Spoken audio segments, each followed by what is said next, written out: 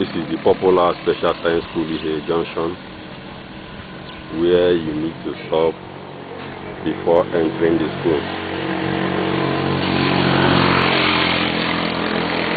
There's a lot of improvement in this junction because the road is now nylon tied all the way from Abobu Junction. You can see it's now motorable and easy of movement.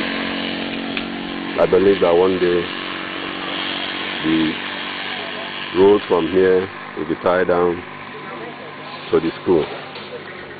Thanks to Enugu State government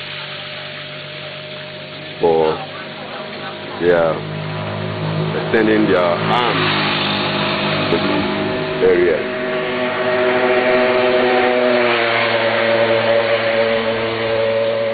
Everybody is now moving freely as he or she wants.